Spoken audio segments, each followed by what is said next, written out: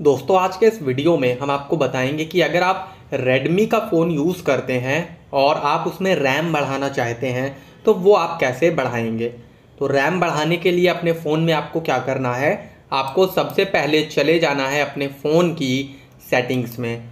Settings में जाने के बाद आपको करना क्या है? फॉर एग्ज़ाम्पल हम यहाँ पे आपको अपने फ़ोन में दिखा देते हैं, यहाँ पे जा करके। ये सिक्स जी बी रैम वाला वेरिएंट है, आप यहाँ पर देख सकते हैं, ठीक है? अब आपको रैम बढ़ाने के लिए क्या करना है, आप यहाँ से बैक चले जाइए और आपको नीचे की ओर स्क्रॉल करना है।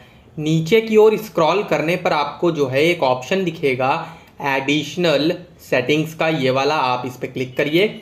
इस पर क्लिक करने के बाद आपको नीचे की साइड ये ऑप्शन एक दिख जाएगा, मेमोरी एक्सटेंशन का। आप इस पर क्लिक कर लीजिए।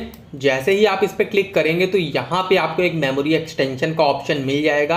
आप देख सकते हैं ये यहाँ पे ऑफ़ है। आपको इसको क्लिक करके ऑन कर लेना है। जब आप ऑन करेंगे इसको तो आपसे रीबूट करने को कहेगा। और जैसे ही आप इसको रीबूट यहाँ पे कर लेंगे तो आपके में दो जी रैम जो है वो ऐड हो जाएगी और यहाँ पर आपको इस टाइप से दिखाएगा भी।